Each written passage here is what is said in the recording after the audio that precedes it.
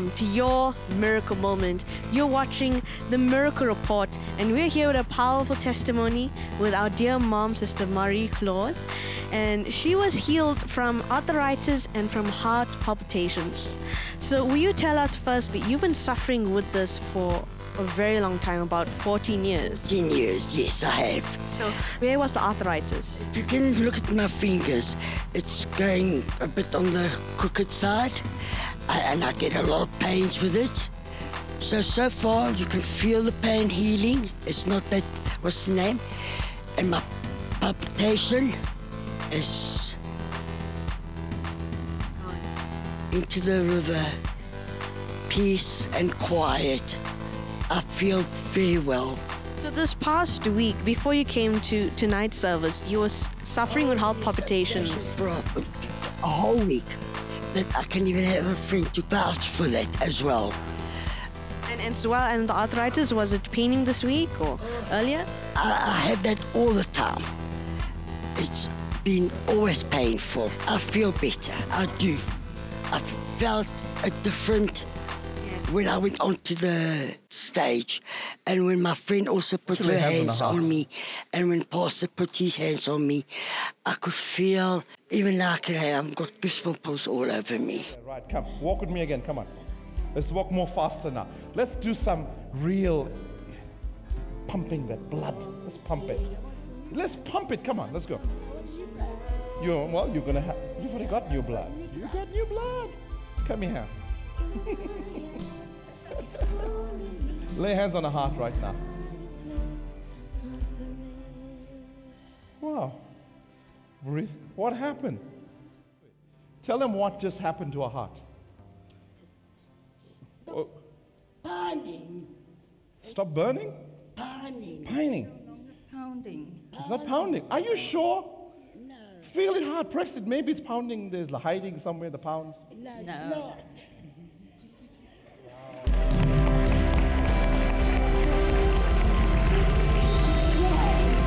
Will you share with us one last thing? How did uh, our ministry uh, just impact you? I know it's your second time with us. Uh, It's that you speak the truth. There's no hidden danger. There's nothing. It's this is what I say. That's what I mean. That's it. Because I have been looking for for a church for a few few years now, and everything was just. Now I'm happy. I'm I'm I've been fed with the word of God. Amen. It's not I, I, I, I, me, me. It's they preach the word of God. They take the words from the Bible, from the word of God. Everything is about God. That's the way I see it. Amen. So we're going to encourage you to come and join us at the Miracle Centre. And you can find out more info on our website. You can just visit sivamoodley.com and you can see our YouTube channel from there and see our amazing playlists, watch more amazing miracles healing, see all our episodes, and also join our global church. So go and explore our website and stay tuned and get ready for a powerful word. Welcome to the program again today. You're watching Your Miracle Moment. What a week we are having here in the studio. We are talking about my favorite topic in the whole world the Holy Spirit. The Holy Spirit. And I'm so excited. I know that many of you are just taking down notes, you're just enjoying this program. And if you missed any of the episodes, you can go to our YouTube channel, subscribe there for free. Watch all the Your Miracle Moment episodes. The ones that you missed this week, you can watch it there for free. I want to uh, continue talking about the Holy Spirit. And yesterday on the program, we spoke about grieving the Holy Spirit. So, how does one grieve the Holy Spirit? A scripture that says that we should not, not grieve the Holy Spirit because there's some consequences. We'll come to that in a second. How does one grieve the Holy Spirit? You grieve the Holy Spirit by being stiff necked. By being stiff necked. What does it mean being stiff necked? Well, when the Holy Spirit comes on a person, there's change that must happen to the person. The change sometimes might be very gradual. Some people will, will find it difficult to change, but they will surrender. They will surrender. Others just surrender so quickly and, and the change happens much quicker. But there's some change that comes in a person's life. And every day they become more and more like Jesus. And the Holy Spirit, when He comes on a person, you, you become a different person. People come and say, Well, what happened to you? You're not the same person. You know, you used to listen to all our dirty jokes and you used to do this and do that. How come you don't do all the stuff anymore? It's because the Holy Spirit has now uh, entered my life. I'm having a relationship, a fellowship with Him, and we're drawing closer, and He's drawing me closer to Jesus. Now, that's the good news. But there are some people that say, hold on, this is the way I was born. I'm not going to change. I know God wants to do this. God wants to fill me with His Spirit, and but everything God does and everything the Holy Spirit does, you start to resist it. You want to be the same person you were last year. That is a that is what we call stiff-necked. You resist the Holy Spirit, you grieve the Holy Spirit. Now, I'm not talking about somebody who is surrendered to God and is struggling to make those changes, and but I'm talking about someone who just doesn't want to, just doesn't want to. Well, I'll stop sinning when Jesus appears to me and tells me to stop sinning. That is a stiff necked person who resists the Holy Spirit. And when you resist the Holy Spirit, you don't only grieve the Holy Spirit. Let me say this to you. You don't only grieve the Holy Spirit. We discussed this yesterday. You also grieve God the Father. And God the Father protects the Holy Spirit. There is a, a special type of relationship between the Holy Spirit and God the Father. This is why Jesus had to petition the Father. He literally had to make his case. He had to beg and say, please send the Holy Spirit to the earth. So, not just people who comment, who slander those that are filled with the Spirit. You know, if you see somebody drunk in the Spirit, you say, ah, I think that's a demon. Shouldn't, shouldn't even shouldn't even open your mouth and talk like that. Uh, you don't know if it's a demon until the person clearly manifests and a demon comes out of them. But if you don't know that for sure, rather not say something that can grieve the Holy Spirit. Because what if it is the Holy Spirit on the person? Then you will be actually grieving the Holy Spirit by calling the Holy Spirit a demon. So we should be careful even when we slander other Christians because we are slandering the Holy Spirit in them. When we gossip, it's the same thing. You grieve the Holy Spirit. Anybody who's a gossiper is a person that grieves the Holy Spirit. When you grieve the Holy Spirit, God the Father turns against you. Isaiah 63:10 says that God became their enemy and he himself fought against them. Why? Because they grieved his Holy Spirit. This is why, you know, you can you when you when you when you speak against the Father, some stuff might happen to you. When you speak against Jesus, he he'll rebuke you. But when you when you speak against the Holy Spirit, he gets hurt, wounded. So Ephesians chapter 4, verses 30 to 31 says this. Let me read this to you from the Amplified. Do not grieve the Holy Spirit of God. Do not offend or vex or sadden him, by whom you were sealed, marked, branded as God's own, secured for the day of redemption. Let all bitterness, watch this. If you're a bitter person, if you're an unforgiving person, you are someone who grieves the Holy Spirit. Your bitterness turns heaven against you because bitterness grieves the Holy Spirit. Unforgiveness grieves the Holy Spirit. So let all bitterness, indignation, wrath, passion, rage, bad temper, anger, resentment, animosity, all these things, and quarreling, brawling, clamor, contention, and slander. I spoke about gossiping, evil speaking, abusive, blasphemous language, using vulgar language. All this stuff grieves the Holy Spirit. When you're bitter, when you are angry, you have a temper issue and you keep losing your temper every time, you, you resent people, you're always fighting, you're quarreling with people, you're slandering, you're speaking evil of this person, evil of that person, you're gossiping, you're abusive, or you use vulgar language, abusive language. And, and you know, whether you send a, a cell phone message or whether you speak from your mouth, when you do that, you grieve the Holy Spirit. There's it right here, Ephesians 4 30 to 31. God says that when you do these things, you grieve the Holy Spirit. There is in, in Scripture what's called the unpardonable sin. And in, in later teachings on the series on, on this program, we'll discuss that in greater detail. That requires a lot of, of, of knowledge and going back into the Word. And we'll discuss the unpardonable sin. But right now, if God tells you to do something and you keep resisting Him, you, you will grieve the Holy Spirit. And grieving the Holy Spirit is not a place you want to be in. It's not a place you want to be in. In my life, in my life, I've been a believer for well over 30 years. There's only once, only once in my life where I literally did something that grieved the Holy Spirit. And I thought I was justified in doing it, but I grieved the Holy Spirit. Guess what he did? He refused to turn up in the meeting. I tried everything. I sang every song. I, I, I did everything I know to bring His presence, to bring in the glory, to bring in the anointing. He refused to turn up. Why? Because I wounded him. And I repented of it. I've never done it since. So, this is why we always do what the Holy Spirit wants. Let me say it again. We always do what God wants, not what we want. So, suppose as a pastor, I run my church this way. I say, listen, what do the people want? Well, the people want short services to teach them the word like little children. The people want contemporary music that addresses also the different cultures. So I must please each culture and sing their song. The people want messages that motivate them, that encourage them, that'll help them to make more money. More money. So, as a pastor, I say, this is what the people want. Now, if I give the people what they want, I grieve the Holy Spirit. I grieve the Holy Spirit. It's like Aaron. Aaron was at the bottom of the mountain, and the people said, We want a God. And guess who made the God? Guess who did the design of the God? It was Aaron. He gave the people what they want to appease them.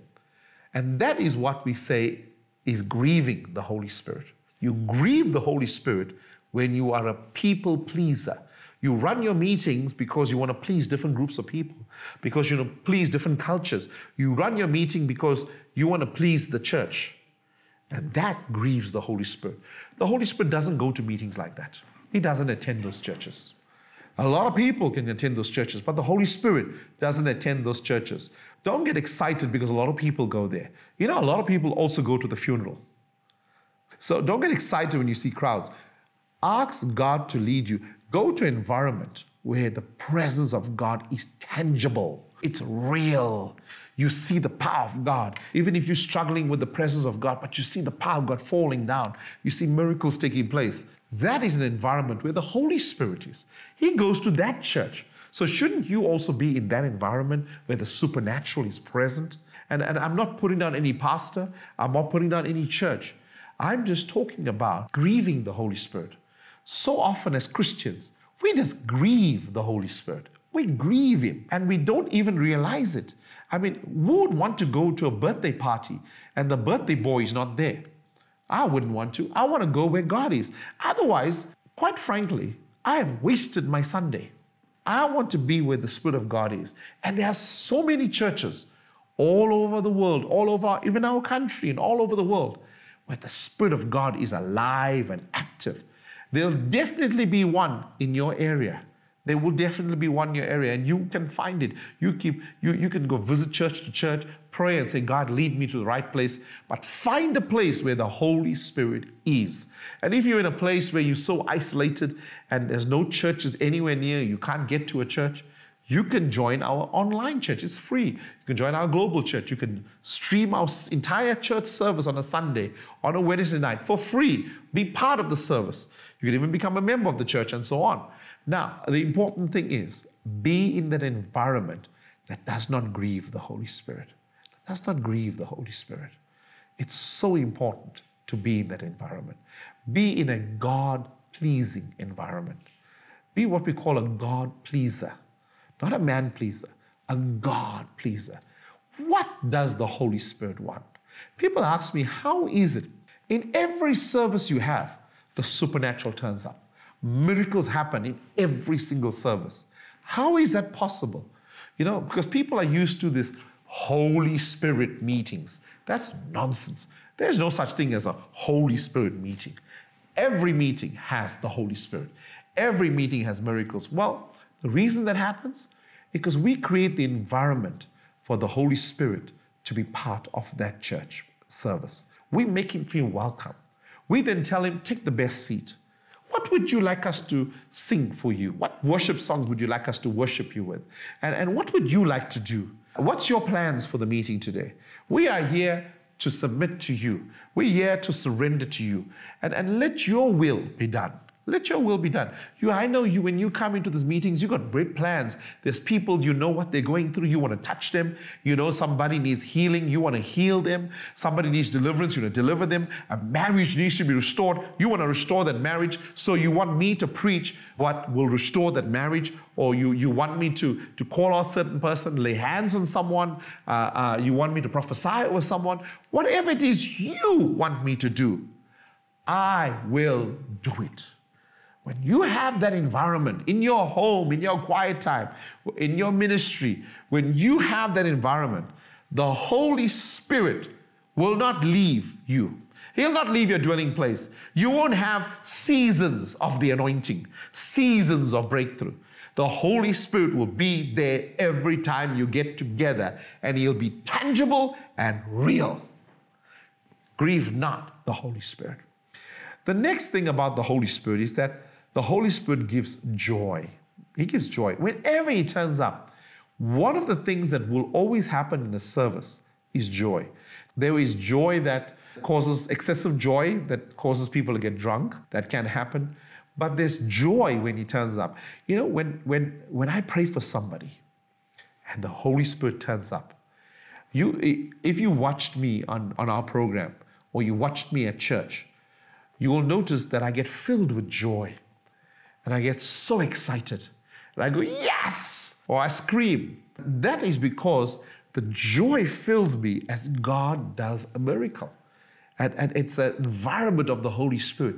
You can't get depression if the Holy Spirit is there. If there's depression, depression is a sign of demonic activity. Whoa. Let me say it again to someone out there. If there's depression, it's a sign of demonic activity. You can't get depressed if the Holy Spirit is present. You can come into the meeting with depression, but you'll get delivered because the Holy Spirit is there. But you can't go to church and stay in God's presence and have the Holy Spirit and be depressed. And you know, some people say, well, there's spiritual depression, clinical depression. Bad depression is demonic. Depression is demonic. It's a demon that needs to be cast out. Cast out that devil. Don't entertain it. Curse it. Don't nurse it. Curse it. Don't nurse it. Now, Luke 10 21 says, At that time, Jesus, full of joy, man, Jesus was full of joy. How? Through the Holy Spirit. So even Jesus, when he got excited, he was full of joy. Through the Holy Spirit, said, I praise you, Father, Lord of heaven and earth because you have hidden these things from the wise and learned and revealed them to little children. Yes, Father, for this was your good pleasure. He was full of joy while he spoke, while he preached the gospel. 1 Thessalonians 1 6 says, You became imitators of us and of the Lord in spite of severe suffering. You welcomed the message with the joy given by the Holy Spirit. So when the gospel is preached, when the word is preached, there is an ingredient that comes with the word. It's called joy. The Holy Spirit takes the message that is preached from a pulpit, that's preached through, through the airways. He takes the message and he adds joy to that message. So whenever you receive the gospel, you don't go, oh, oh, that's okay. Oh, interesting word. No. When the message hits you, if you are in sin, it convicts you and joy fills you. But the message always comes with joy. It comes with joy, with joy, with joy. So even as I'm preaching right now, you are hearing the word, but at the same time, I'm releasing that anointing for joy because the Holy Spirit, the Holy Spirit, the Bible says the letter killeth, but the Spirit giveth life. So the Holy Spirit is giving life to, the, to what I'm preaching. And the life is giving is the life of joy. Joy is entering your heart. And you say, Wow, I love that revelation. Wow, I'm, I'm learning something here. Wow, give me more, Lord. Give me more. I'm enjoying it. I'm enjoying it. I want some more. That is the joy that fills you right now. Now, the Holy Spirit is a person, and you can know the Holy Spirit. You can know Him. right here on the program, all you need to do is you need to say, Holy Spirit, I want to know you. Let's do that right now. I want you to stretch forth your hands. And I'm going to continue with this. I'm going to teach you different parts. If you send me a message on Facebook, on Twitter, on Instagram, on my website, you email us in the office at sivamoodley.com or you on social media, you send me a message, you say, Pastor, I love this teaching of the Holy Spirit so much. Can you give me more? If I get that response from you, then next week I'm going to continue the series on the Holy Spirit. Amen. But it, I, I need to see at least over 500 messages coming in, over 500 messages coming in and saying to me, we want to know more about the Holy Spirit. Amen. So if you send me that message and, and tell me how much you're enjoying it, I will continue the series. Now, I want you to, to have an encounter with the Holy Spirit, just like I've been having an encounter for the last 30 plus years. I still can't get enough. I still can't get enough. There's still so much to Him. So, this is what I want you to do. I want you to lay hands on your screen, whether it's your TV screen, computer screen, your cell phone screen. And I want you to put your other hand on your heart. And I want you to pray this with me right now. I'm going to lead you to prayer. And I'm going to invite you to know the Holy Spirit. Amen. Now, this is not a salvation prayer. This is a prayer to know the Holy Spirit. Are you ready? Let's pray. Wonderful, wonderful Holy Spirit. Hallelujah. Thank you. Repeat this after me. Say, Dear Holy Spirit, I thank you that you are part of the Godhead. You are equal to the Father, equal to the Son. I thank you, Holy Spirit, that Jesus has sent you into my life. I thank you, Holy Spirit, that you live inside me. Now, Holy Spirit, I want to know you more intimately. I want to know who you are. I want to know more about Jesus. And I know that you will teach me. Holy Spirit, I want to know the mysteries of heaven. Pray it. Holy Spirit, I want to have an encounter with you right now. I want your presence to fill me. Holy Spirit, it must not be a one time experience. I want this experience every minute, every day. I want to know you in a way I've never known you before. Holy Spirit, I want to have an encounter right now.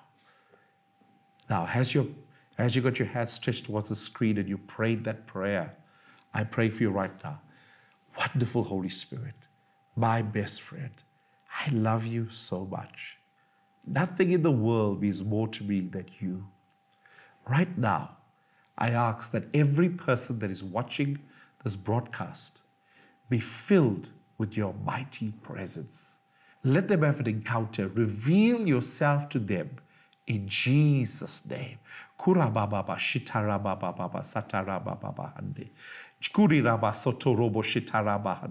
Thank you, Holy Spirit, in Jesus' name, in Jesus' name, in Jesus' name. God's power is coming into you right now. It's hitting you right now.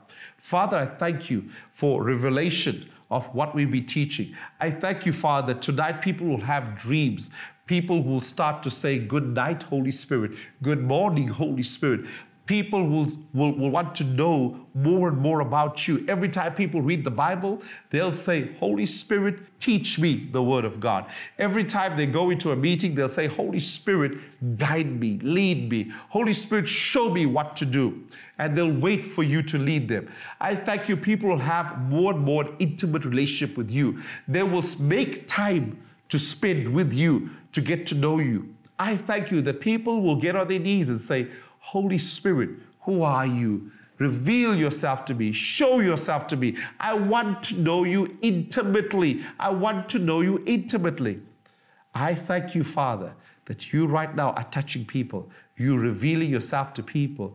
After this broadcast is over, your presence will remain in that person's life, wherever they are your presence will remain on them right now. I thank you, Jesus. People are having encounters all over the world that's watching this broadcast right now. In Jesus' name.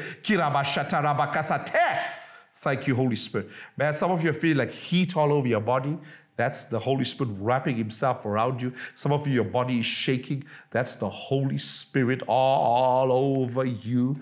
Some of you are weeping right now. That's the Holy Spirit. Some of you are on the floor crying. That's the Holy Spirit. It doesn't matter what emotion you hit or whether you don't hit any major emotions. The Holy Spirit is there right now. And listen, tell Him, don't leave, Holy Spirit.